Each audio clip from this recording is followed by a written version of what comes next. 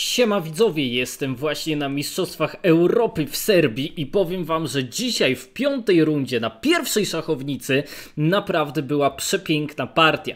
Zmierzyło się dwóch zawodników z Ukrainy, którzy wygrali wszystkie cztery partie, wszystkie e, cztery pierwsze rundy zwyciężyli. No i tutaj Anton Korobow e, to jest zawodnik, którego ja osobiście bardzo lubię oglądać. Ranking niepozorny, 2658, ale naprawdę mega, mega silny arcymistrz. No i gość jest w stanie każdego do świecie ograć.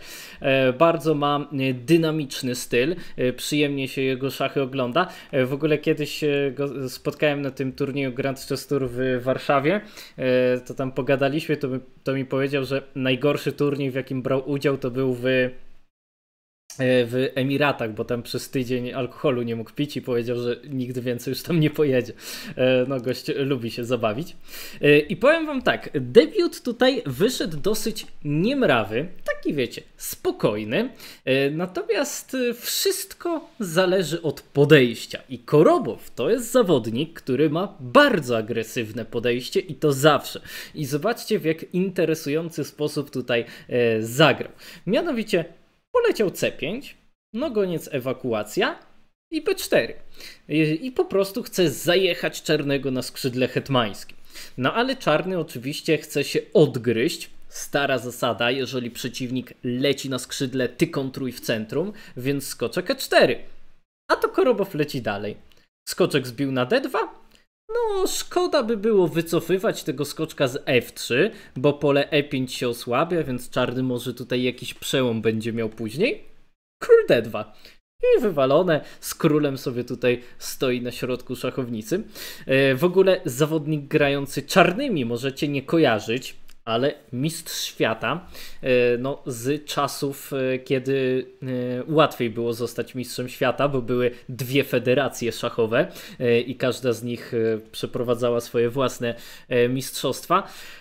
I Ponowariow nawet streamował albo streamuje szachy na Twitchu. E, I tam miał właśnie w opisie, że e, mistrz świata. E, no dobra, więc tutaj czarny musi się wycofać, skoczek B8, no to goniec D3, C6 i wieża AB1. Po prostu mnie rozwala ta prostota, z jaką Korobow podchodzi do tej pozycji. Najzwyczajniej w świecie wrzuca wszystkie figury do akcji. No i teraz, która jeszcze figura nie bierze udziału w akcji? No wieża z H1, no to cyk, wieża C1. No i już widać, że coś to tutaj na skrzydle hetmańskim chyba się za chwilę zadzieje.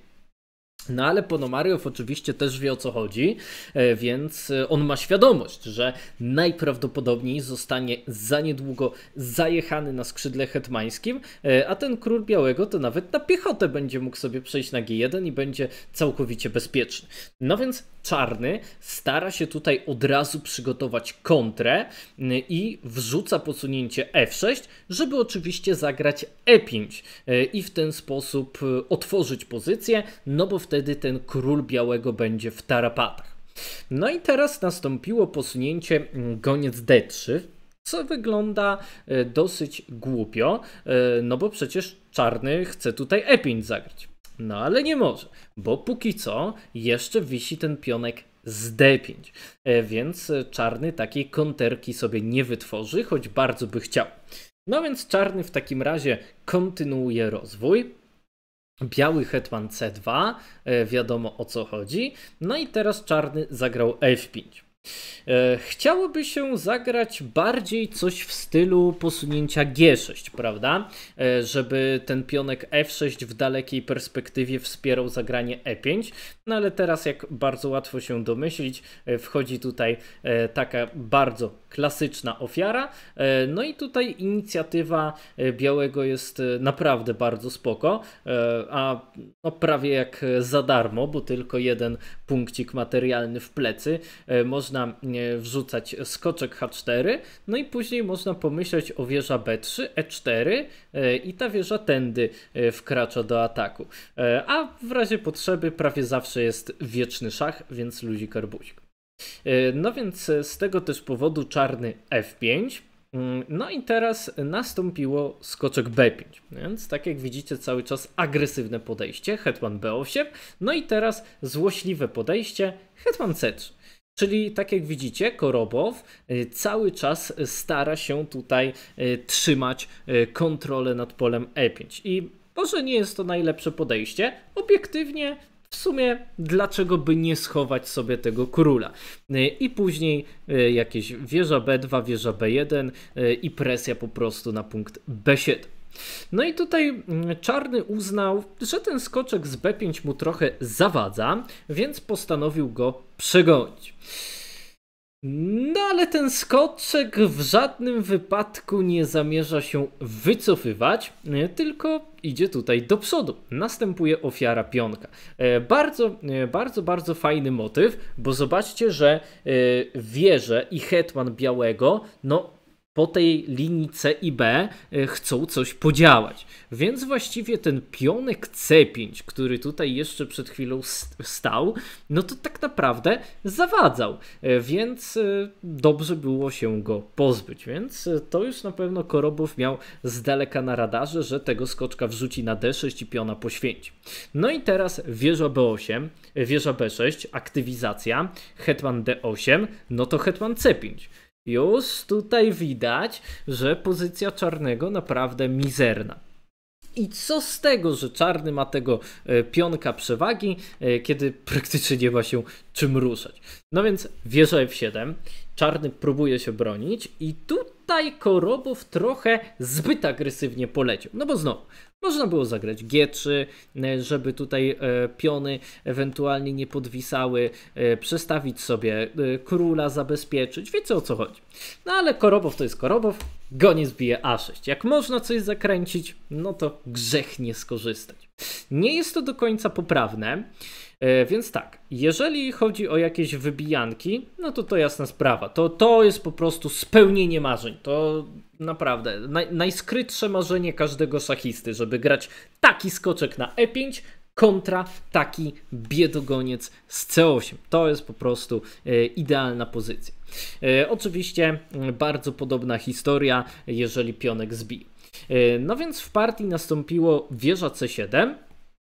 E, no i teraz Korobow dalej dolewa oliwy do ognia, skoczek E5. I zobaczcie, że teraz dosłownie wszystkie figury białego już y, działają, no najbardziej aktywnie jak tylko się da. No pamiętajcie, że czarnymi gra gość 2650.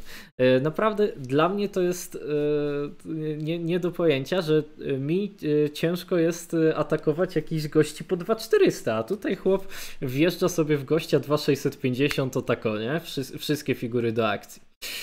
I tutaj Czarny uznał, że pójdzie na kontrę. No oczywiście bić tutaj na E5 to wiadomo nie można, bo są problemy, chociaż to jeszcze nie jest takie proste, bo patrzcie, bicie tutaj, bicie tutaj, a jeszcze jakiś skoczek C4 szach trzeba uważać, no ale tutaj jest wieża bije C4, no i nie można odbić, bo wisi ten hetman na D8. No więc Czarny stwierdził hetman H4. Mm, skrzydło hetmańskie jest po prostu stracone, no i trzeba tutaj szukać jakiejś, jakiejś akcji na skrzydle królewskim. E, I co na to pan Korobow? Króle 2. E, po prostu, e, króle 1, sorry. Po prostu sobie pionka F2 zabezpieczył. Obiektywnie lepsze byłoby zagranie G3. No więc w partii król E1 i teraz bardzo dobrym trikiem dla czarnego byłoby zagranie posunięcia F4. E, I tutaj chodzi o to, że po biciu na F4 hetman odbija. Wiecie, coś tutaj zaczyna się dziać. No, coś ten hetman zaczyna tutaj e, robić, więc jest już jakieś przynajmniej pole manewru. E, można oczywiście się tutaj cofnąć e, i teraz jak e, hetman, hetman się wycofa, no to na przykład goniec B5 i dalej biały zachowuje tutaj naprawdę zacną presję. No punkt C6, punkt C6 bardzo mocno trzeszczy, a goniec C8 dalej jest biedą ostateczną.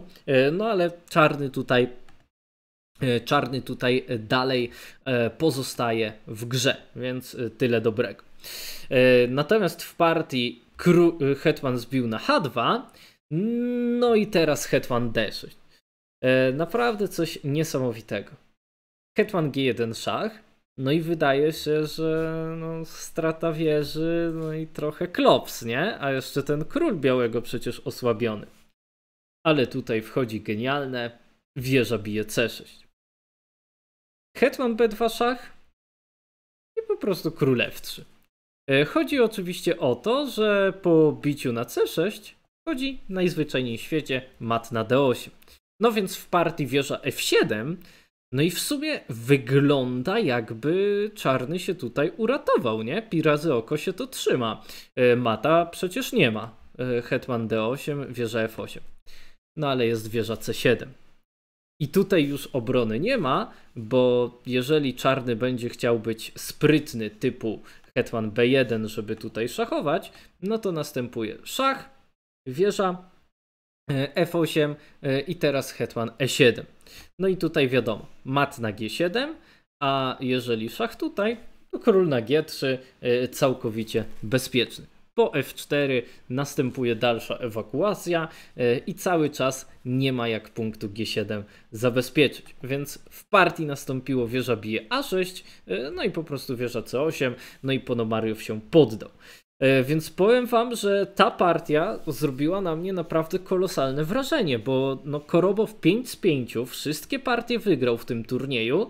No i tutaj no tak wiecie, nie patrząc na Stockfisha, bo wiadomo, że to ludzie grają, a nie komputery, ale po prostu rozjechał gościa 2650, no nawet nie do końca wiadomo, e, co ten Ponomariow tak de facto zrobił źle w tej partii.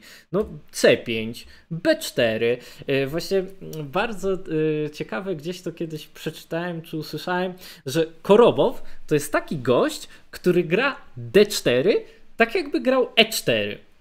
Nie wiem, czy to zauważyliście, ale większość zawodników, która gra D4, to grają raczej takie e, spokojne, strategiczne szachy. E, raczej, raczej nie chcą się tak naparzać jak e, na przykład w obronie sycylijskiej. A jak się patrzy na Korobowa, to on gra D4, ale tak jakby grał jakiegoś Sycyla czy coś, coś tego rodzaju. Naprawdę ostre naparzanki. No i zobaczcie, król w środku szachownicy po prostu wrzucił wszystkie figury do akcji na skrzydle hetmańskim elegancko, cyk, fajna ofiara na D6, wyczekał przeciwnika. No takie wręcz można powiedzieć, że prymitywne szachy. No wjechał tutaj w gościa, cyk, cyk, skoczy K5, pierwszy genialny ruch. Tutaj, a tam pionki jakieś sobie chłop bierze, wywalone, niech sobie weźmie jeszcze wieżę, Kolejny genialny ruch. No i tutaj nie ma po prostu jak się bronić. No coś naprawdę e, nieziemskiego. Naprawdę śliczna partia. E, no niestety e, muszę powiedzieć, że nam Polakom to tak średnio idzie na tym turnieju. To znaczy jest paru Polaków w czołówce, no ale tak w strefie medalowej to jeszcze nie. Ale turniej jest 11-rundowy, jeszcze 6 partii zostało, także jeszcze wszystko może się zdarzyć. Ja osobiście na razie uzbierałem e, dwie wygrane, dwie przegrane i jeden remis. Jestem pięć oczek w plecy, także e, bez szału, ale też bez tragedii. E, no muszę powiedzieć, że tutaj przetyrany zostałem na ten moment na Mistrzostwach Europy, ale liczę, że w drugiej części turnieju będzie lepiej. E, także cóż, e, zachęcam oczywiście do kibicowania. 90 e, albo 100 partii jest transmitowanych, także znajdziecie te partie na chess.com ukośnik events. No i cóż, trzymajcie, trzymajcie kciuki za Polaków, rodaków. Dobra, także cóż, mam nadzieję, że partia Wam się podobała. Napiszcie w komentarzu w skali od 1 do 10, ile tej partii dajecie. Dzięki za uwagę i pa pa!